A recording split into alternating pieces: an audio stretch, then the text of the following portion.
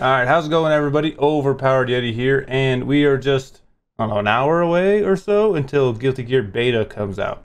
What I wanted to do before that was I wanted to take a look at the uh, they just made starter guides for the characters that are going to be in the beta, and I want to kind of just look over them, kind of review them, kind of do my thoughts on it, my reaction on them, um, and just mind you, I am a new player, so this comes to me and is great for me because I am new. I don't know all the mechanics and the new mechanics of the game or how they play or any of the characters, anything like that, really.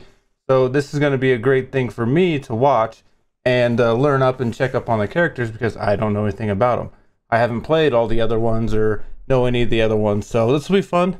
See how helpful this is for me and you guys and kind of get you, you know, you guys can get, uh, you guys can kind of get my reaction on it and see what I think coming into this as a new player. Let's take a look at all these. I uh, had to do the Potemkin one first because I feel like he's going to be the, the main one I want to try. Yeah, I'll be trying him first. Big boy is a grappler that uses his powerful command moves to get through his opponent's defense. Destroy your opponent with his overwhelming pressure. Potemkin Buster, an inescapable grab move. It is much more powerful than a normal throw and also has a wider range. The move's fast startup and wide range makes it an extremely powerful move at close range. Dang, that's some big damage. Potemkin grabs the opponent in midair and blows them away when it hits.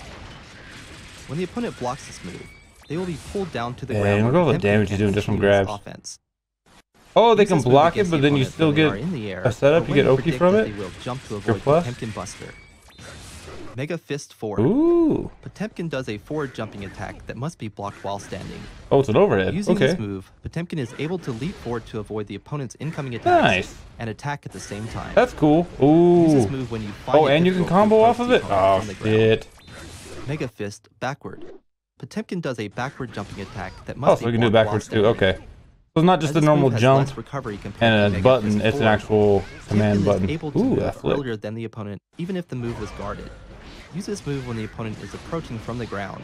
Oh, damn. That was a cool ass combo. Slide head. Potemkin slams the ground, sending a low, blockable quake that travels full screen. It's kind of slow. It is I mean, that could be kind of a mix up, right? a deterrent at a distance. Yeah. Hammerfall. Potemkin lunges forward, arms spread. Oh, he's got charge moves. Oh, okay, so you got to hold back to hit forward. He is able to armor a single hit when he is lunging forward. Oh, and he has armor coming into it? This move yes. Is a move when you want to close the distance between Okay, okay. So that's how you're going to be able to get in. You can jump in or you can you can armor through. Recovery. That's cool. Hammerfall break. This move allows Potemkin to come to a sudden stop during the Oh, he doesn't have to hit the hit? Potemkin Does he get the armor? earlier from this move as he stops without attacking. It is a great tool to approach with, as he is able to advance while enduring an attack. Oh, so you do. The attack still. Ooh. Potemkin does a flick with his finger, reflecting any do? incoming projectile while. Why is it a half circle for a flick? Holding the button when inputting the command. Wait, did he push it back? Increases the move's damage. Increases the move's the button when inputting. Holding the button when inputting the command of this move increases the move's damage. This move is most effective when you. Oh, I gotta go back. I missed it. I missed it. What was that? FDB. Potemkin does a flick with his finger, reflecting any incoming projectile while attacking. Holding the button when inputting the That's command awesome. move increases the move's damage. This move is most effective when you match it with the opponent's incoming projectile. Although the startup of this move is slow, it has fast recovery. Oh, dang, you can combo with it? To use at mid-range. Garuda Impact. Potemkin releases a blow that causes the opponent to crumple. Although the startup of this move is slow, it can leave the opponent vulnerable when it connects. Potemkin will be able to move before the opponent even when it's guarded, so you will want to use it aggressively at close range. Like Heat Knuckle, it is a great way for Potemkin to continue. Dang, okay, okay, I see what he did there. Did it on Oki, did it on Wake Up. Potemkin becomes invincible and leaps up in the air. Oh, you're invincible? The if they are airborne. You will be able to act immediately in the air, even if you fail to grab the opponent. You can deal Dang, that's gonna be hard. Half half while they're in the air. I don't think my reactions are that the good. is also unable to guard against this move. Holy damage, fifty percent though. You gotta, gotta get better at it. oh, you can do it in a combo. Jump away from Ooh. Giganter Kai. I want to see how much damage it did. becomes invincible against strikes, and releases a shockwave around him. The shockwave will create a barrier that travels forward if it does not hit Why'd that do so much damage? as there is not much opening after the barrier is generated. This move is great for chaining the flow of the battle to your favor. The forward moving barrier also makes it easier for Potemkin to advance. Yeah, you can run in when he's getting the hit by that. The main goal is to catch your opponent with a Potemkin Buster.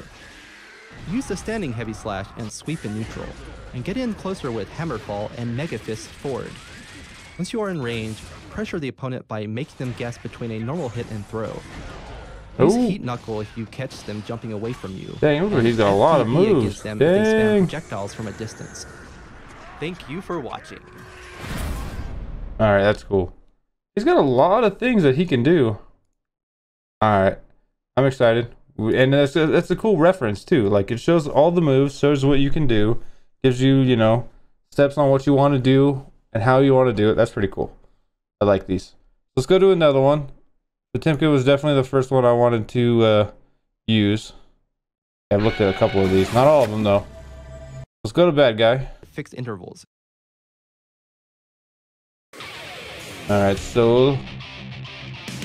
Sol's another one that looks cool because he's got that dragon install, but I'm not sure if he has it here.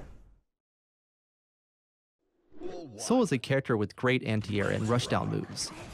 He is strongest at close range. Make use of his special There's moves to close down. in on the opponent. Ooh, that looks awesome.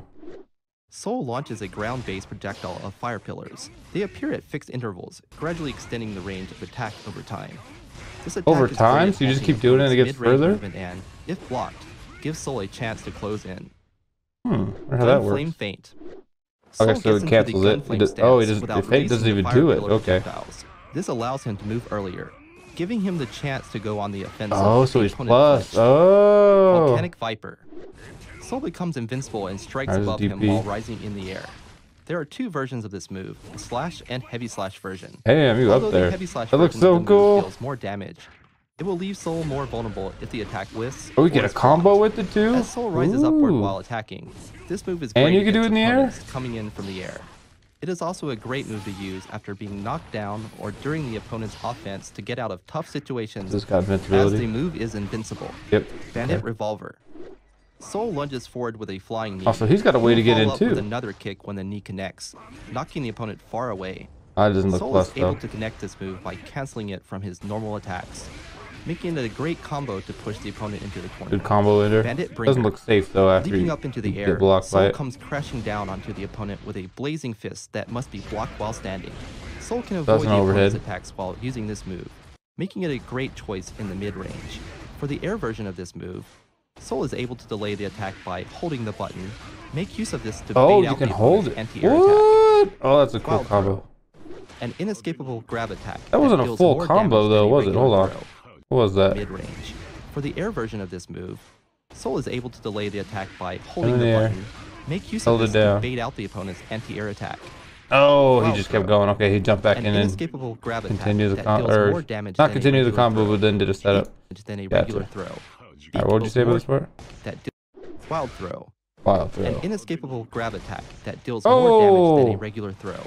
Be careful when using this move. That does a shit ton of damage too. That's like the Potemkin Buster. Incoming attacks if this move misses. Use this to open up opponents who are too focused on blocking on the ground. Night Raid Hey, that's cool. Sol charges towards the opponent low to the ground before delivering an uppercut. You can increase the distance oh, traveled oh, shit, look how far he goes. when inputting the command. It is a powerful move that so you could push it or hold it. That's kind of cool. Attacks and leads into combos on him. Dang, look at the However, damage everyone's Sol doing. is unable to cancel this move from his other normal attacks. Use this move to avoid the opponent's attacks and Ooh, get in close. That's cool. It, went underneath it? Wait. Attacks and use this move to avoid the opponent's attacks and get in Dang, close. that's cool. Fafnir. Fafnir deals a lot of damage and has little recovery, but it cannot be cancelled into from normal attacks. Because oh, of the you just gotta recovery, do it straight. It is hard for the opponent to counterattack after blocking this move. This move is Oh, you can get a combo after it though. Oh, okay, but you can't do a basic combo into it and end it with that. Tyrant Rave. An invincible, high damage strike that knocks the opponent back on hit. This move is also Cost 50%. Really fast, oh, okay, I gotta pay attention to that. I didn't see that. combo with massive damage. Many of Sol's special moves are rushdown moves, allowing him to pressure the opponent while moving forward. He can also keep his opponents Dang, out Sol looks cool. Gunflame. I like how Sol looks and plays. Use Volcanic Viper to catch your opponent off guard. Once the opponent has stopped moving and is focusing on defense, use Wild Throw to deal massive damage. Sol is an offensive character who can easily pressure the opponent by performing his special moves one after another. Thank you for watching. Oh, he only has one that costs 50% tension. Okay, okay. Yeah, Sol looks cool. But I thought he had this, like, uh... This, like, dragon install. I don't know where that is. If he's going to have that or if they just haven't entered it yet. That was one thing I thought was cool. But, it, like, high-level play wasn't really used that much. People said it wasn't worth it. So if they put it back in it somehow, which I it looks like it's not in it, uh, they'd fix that. But, uh, yeah, it doesn't look like it's in it. Darn it.